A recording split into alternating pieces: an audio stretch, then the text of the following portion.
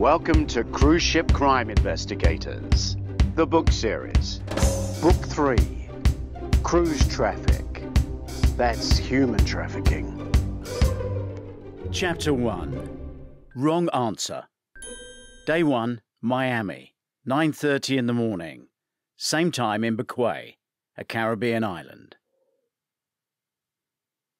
Everything is bright white in the blistering early morning sun, except for the dried blood under Kieran's nose. His hair is not long enough to cover the healing wound and the operation scars on his skull. He is either dead or in a deep sleep, stretched out on a chair with his feet on the rails of the first floor veranda. Beautiful bougainvillea and birdsong add to his serene peace. The cell phone in his top pocket wakes him. His jumpy overreaction shows that not only has his wartime PTSD never been cured, but the recent injury has added to his unstable state. Kieran, buddy, I need you back here, is the forceful American voice that does not need to be put on the speaker to dominate the tranquility. No, Kieran says, waking. Great, comes through the speaker. Not great, that's no, Kieran insists politely, with the charm of his perfect English officer's diction. It is soft, not at all aggressive, but definite.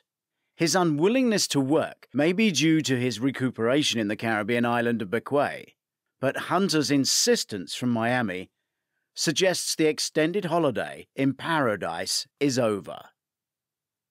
I'll pick you up from the airport, no, Kieran says. He ends the call and draws his feet back. Now awake, he stands, slipping the cell phone back into his breast pocket. The rise makes him dizzy, and he steps forward to maintain his balance. Holding the door frame, the ex military officer brushes his tailored white shorts straight before moving to the bedroom of the house. The internal doors are open, and there are faint voices from downstairs. Back in Miami, Hunter stands silhouetted at a large window with his smartphone to his ear. Great, he says, then spinning his cell like a gunslinger, he turns back to address the room. He's on his way. He sits at the dark polished wood conference table opposite two young executives in expensive, well cut suits who ooze ambition. Their name badges say Chet Dean and Bjorn Ironside, three Kings executives. The name badge is an essential uniform accessory used on ships and continued on land by some companies. They feel the meeting is over. Diana Mond waits to be dismissed. Her badge is far from straight, and the cut of her black trouser suit and cheap heavy shoes show no ambition other than to finish the day. Hunter sits defiantly, with nothing more than a smile. He is willing to take their money. Although the job, as explained, feels too small for them to have been engaged, it is ideal for Kieran's return. Kieran'll be on the ship. I'll run the operation from here he says to break the silence that has given no added information. As a job for two agents on board the ship. I'll give him an assistant. No, we need both of you as a team. Hunter stops spinning the phone and surreptitiously records shots of both executives. There's one cabin available, but two men can be a couple, Bjorn says. Ah, oh no. Bjorn is the more serious of the two and defends the idea of two men in a cabin. There's no longer any need to explain. Gender is a flexible scale. My wife's pregnant. I like my position on the scale. Deal memo, Chet says, sliding a paper across the table. The ship sails from Lisbon tomorrow, Bjorn says, without a smile. Diana we'll deal with your flights and boarding documents. I'll read it over, Hunter says, rising.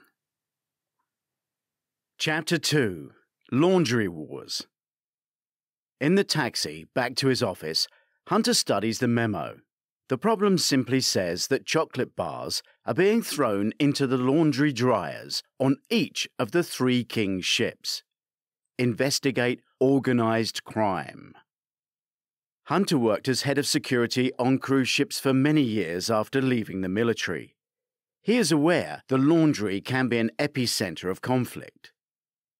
The only thing that elevates the problem enough for it to be contracted out is the term organised crime. Even though it has happened on each of the three king ships that are on rotation in the Mediterranean Sea, it is still a soft case, unless he is not being told everything. He calls Kieran again. Miami and St. Vincent are in the same time zone, even if the two men are not yet on the same page. Kieran Phillips walks out of his stylishly decorated washroom into the lavish bathroom. His face is now clean of dried blood. He takes the ringing cell phone from the bed where the pillow reveals yellow pus and a few dark red spots from the night. He collects his beach-filled straw trilby hat from the hook on the door as he answers. Caribbean office?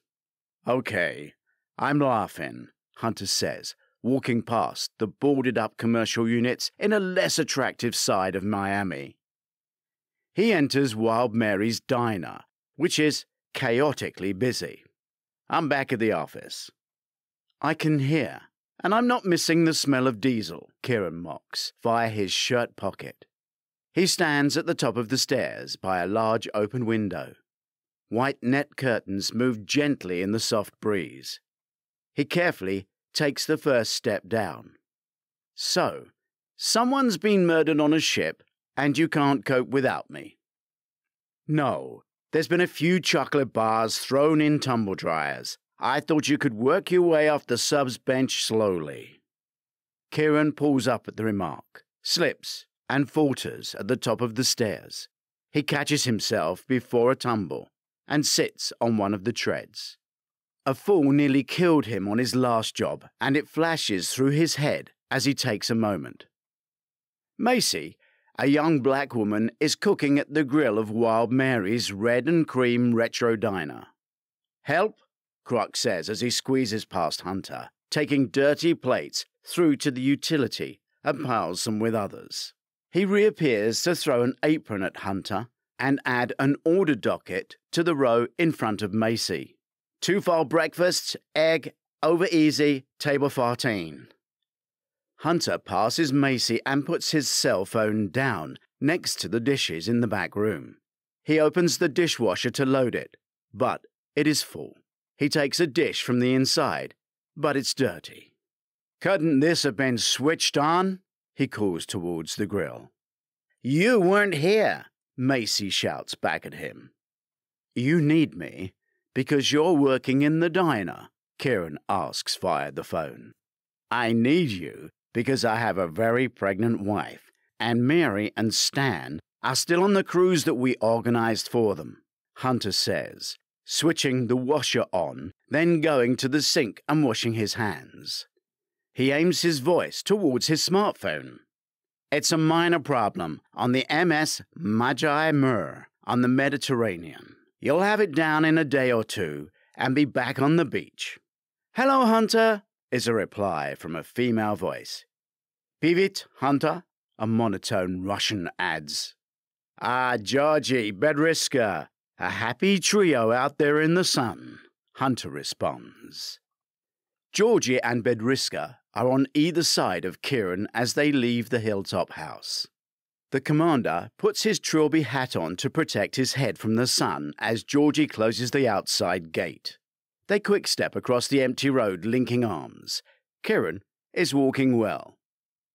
I need you to come back. Today, Hunter relays from Miami. I can't see any reason to ever leave here, Kieran says, entering a footpath that cuts between endless colourful buds with fragrant smells. Bedriska sets the pace up front. They have been caring for the patient. Okay, how about it's time to plan on getting our $16 million back? Then we can all retire to the beach. Georgie, you still in earshot? Bedriska stops sharply and turns, charging her partner with an inquisitive glare. Georgie shakes her head, not to worry, and waves her to carry on walking, but Bedriska stands firm. Sixteen million? She mouths at Georgie. We'll never get it, Georgie whispers to Betty, who has never been told of that money. Bedriska doesn't look pleased.